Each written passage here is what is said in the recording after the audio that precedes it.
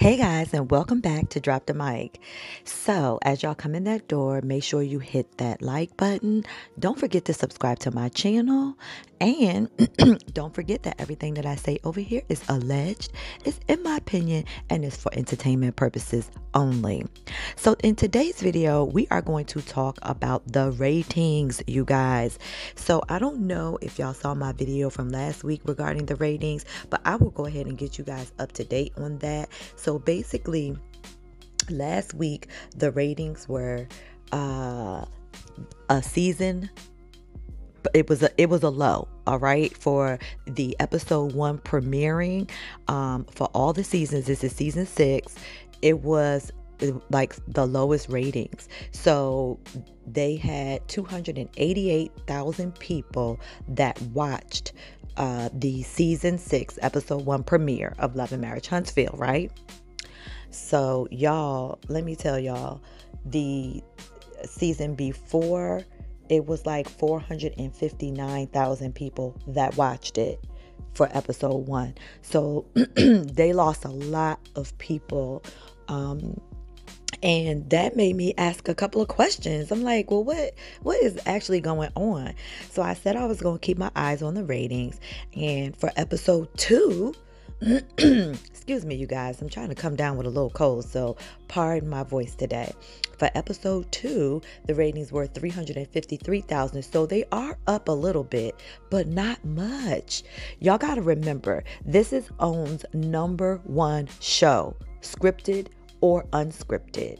So the fact that their ratings are so low really, really, really you know, it, it, sparked an interest in me. I'm like, what is going on? This is the number one show on the network. Why are the, you know, the opening ratings so low?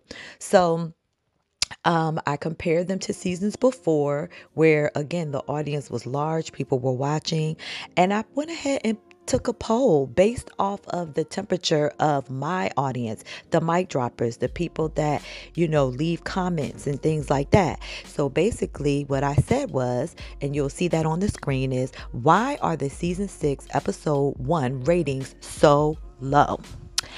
And I gave them three reasons, right? The first reason was, uh, let's see, total cast toxic cast members and perceived bullying and harassing. All right. The second was the perceived fake storylines and fake millionaires. The third reason was the millimeters are still blacking out. So we had 461 people that voted, and y'all, 71% of the people thought that it was toxic cast members and perceived bullying and harassing. 17% of the people thought the perceived fake storylines and fake millionaires. 12% of the people thought the millimeters are still blacking out. but when I went to look at the comment section, this is where it got interesting, y'all. I seen a lot of people that just said, Can I choose all three? I probably should have made that part of the poll, all of the above.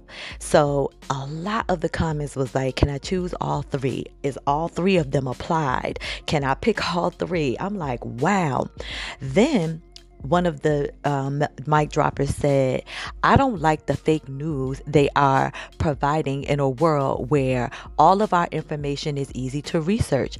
In 2021, when my friend told me Marsau and Tisha are coming out with a wine, it made sense to her, but it did not make sense to me as a businesswoman who knows of a business owner in Illinois called Cooper's Hawk that actually had a business. My thoughts were that they would be doing research and development that would have played out on the show.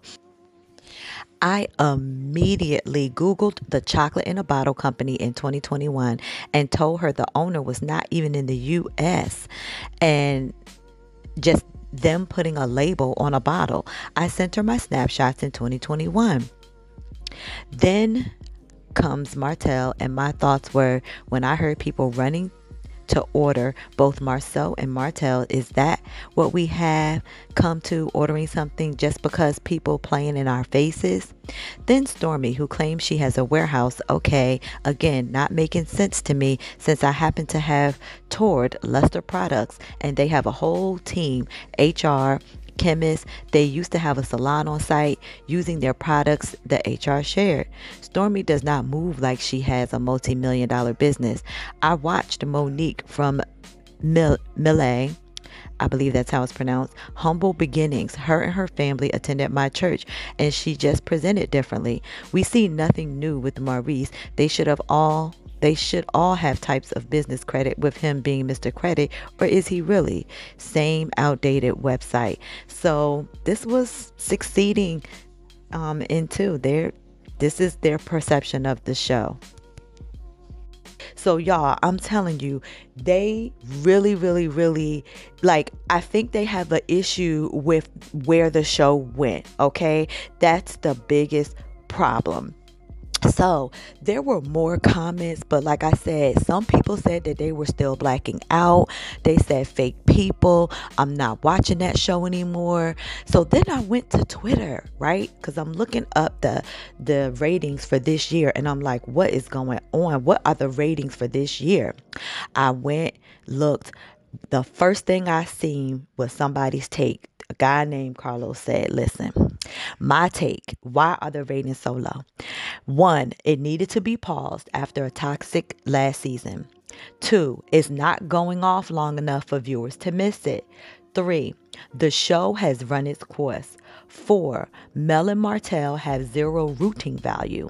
Five, the show doesn't attract casual viewers. Six, the EP is too Bravo show focused. Y'all, then somebody else said, because it's not good anymore, and the overinflated ego of the quote unquote stars facilitated by the EP, it's unwatchable. I stop watching. Y'all, a lot of the comments are saying the same thing. People are feeling the same way. A lot of their views are the same. They are not feeling this show. They're not feeling what it stands for and they they just not having it, you know, which is, again, it's interesting to me. It's very interesting to me. Um I do know that I will say my opinion for season 1 episode um, season 6 episode 1 and 2 it is less heavy okay? So it's less heavy. I feel like the people um I, I don't know. It just it was a different vibe. I actually enjoy both episodes. So you know it's weird because i you know, try to tell, you know, the people that watch me, the people that watch the Gossip Girls, you know, y'all go ahead and watch it. But I think people are just so frustrated because the toxicity went on for so long. And then you have people that aren't even on the show actually coming to YouTube and like stirring up drama and it's weird. It's weird. It's weird to have a person that's supposed to be a quote unquote celebrity actually on YouTube talking nasty, being disgusting. And by this, I mean um, Wanda, which is LaTisha Scott's mother. It, she's a disgusting person. And the things that she say on her show are disgusting. She's actually like attempting to keep up beef between like YouTubers. Do y'all realize that YouTubers are the ones that actually promote the show? that that's the reason why people watch even if they watch because they hate it they watching period you're getting a view but when you start having the stars of the show start trying to get involved with what I would consider the media aspect of it, even if it's just the social media aspect of it, I think it's a turnoff because it's almost like you don't really know your place. You have Marsau that likes to get in the comments on social media and degrade African American women, um, talk about their looks, talk nasty to them when they say things that he doesn't like. You're supposed to have thicker skin as a TV personality. Like, first of all, you shouldn't be reading all the comments. Let, let's just start there. I think that's the worst mistake that you could ever make. But let's go a little deeper into it when it's all said and done, the last thing that you want to do is get online and argue with the very fans that actually promote the show or actually you you know what I mean? Like they actually are supporting the show.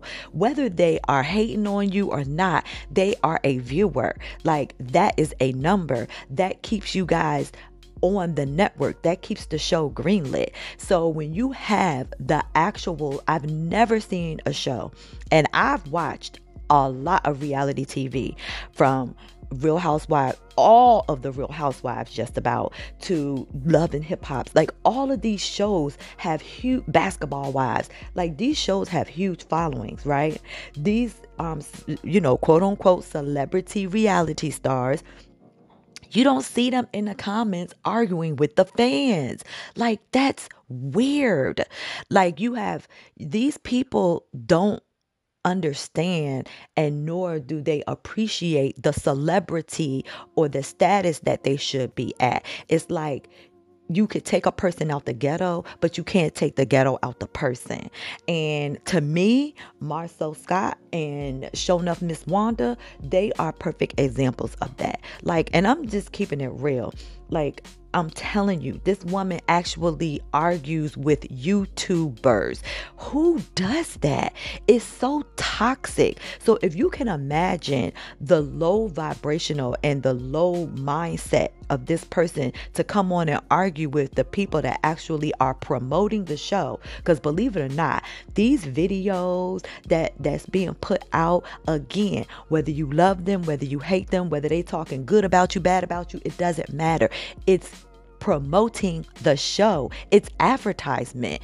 It gets people curious to say, "Oh, I want to see about this this Wanda. I want to see about this Marsau. Let me see how these people are." And they go and they watch. Like, let's keep it real. Y'all got to learn the game. You know, and even if it's like you know you have a person on there that people really love and follow or whatever the case may be that's fine.